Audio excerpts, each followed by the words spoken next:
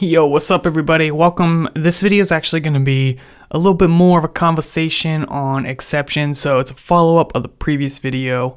You know, we got to build those layers, and yeah, so I don't really have a whole lot to say, I just wanted to talk about a couple of things. When to throw our own exceptions, how to catch them, and how wide our exception catching should be. So, let's just start with the throwing. So we can throw our own exceptions. Here, I'll show you how to do it. You just say throw new exception. Very simple. I did this earlier and I just had a brain fart, I guess, because I was like, dude, my syntax is perfectly fine. Why are you giving me an error? I didn't think, and I was like researching it, and I didn't think to hover over it and be like, oh yeah, duh, I forgot to deal with the exception. So when you throw an exception like this, you got to either add the, the throws piece right here or do the try catch. So hits hit the try catch. There's also another piece to this which is optional, finally.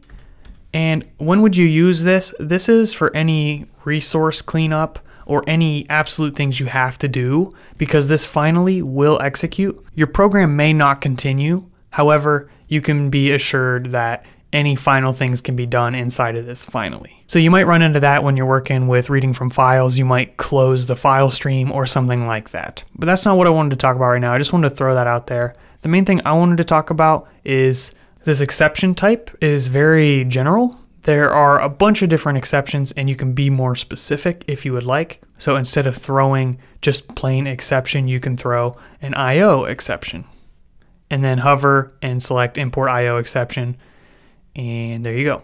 Oh, and uh, don't forget the parentheses, sorry.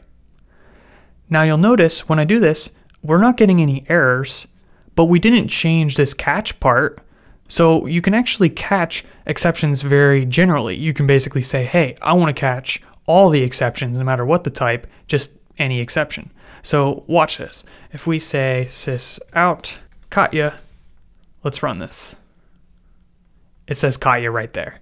So this exception here was thrown, but this catch was executed.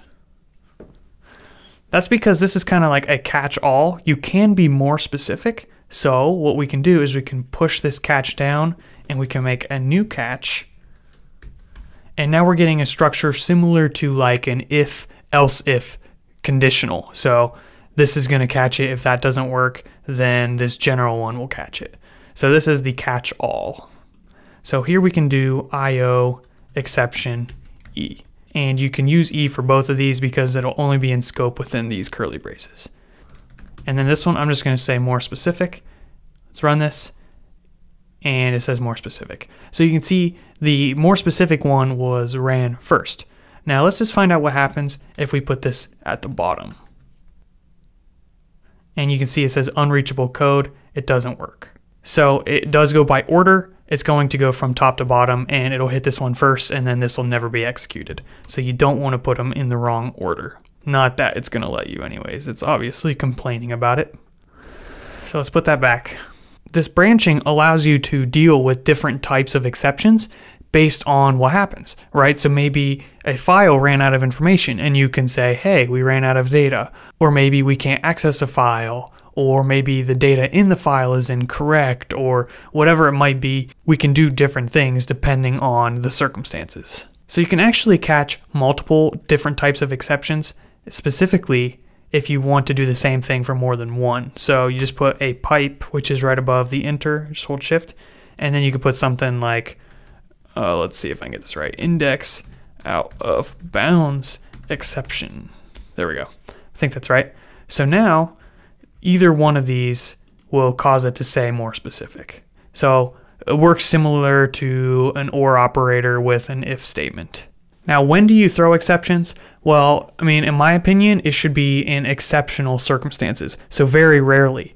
Most of the time, you can deal with the problem by using logic, if statements, while loops, and so forth. Some developers who are fairly new will use exceptions as if they are control flow, and that's not really what they're designed for. They're designed for things that aren't supposed to happen on the regular. But if you work around things good, you can usually avoid them. So, for example, you're reading from a file, it doesn't work. Instead of having everything explode, you could just try again using a loop, or you can output and say, hey, we couldn't read from the file, trying again in 10 seconds or whatever. And then ultimately, if you can't get a hold of the file, you can throw an exception. So anytime you can, prefer to use logic over exceptions. When you do throw exceptions, try to be as specific as possible. And when you catch exceptions, you can catch numerous types of exceptions and do the appropriate thing. So that's valuable because that means you can make your try block very wide and put lots of code in here and then just have a couple of catches at the bottom. That's also a spectrum. You can be very granular and just have like one statement inside of the try. And if it fails, then do the catch. Or you can have numerous statements, and if anything throws, you can catch it. You don't want to be too wide with your try either because you want to keep relevant information together. So in college, I didn't really like doing the exception handling junk. So I would just just do the the throws statements whenever I could. And then inside a main, I just put everything in a giant try. and then the rest of my code would just be here. And then I just did a catch all for any exception that my code would have thrown. It's probably not ideal. My professor got mad, whatever. It's fine. I'm not guilty about it. I've learned. I totally haven't learned. I still do it. Anyways, that's all I got for you guys on exceptions. In the next video, I'm either going to do some really super awesome tutorial, cover something new, or I'm just going to say goodbye and fill up one of the 30 videos just because I can. Peace out, guys.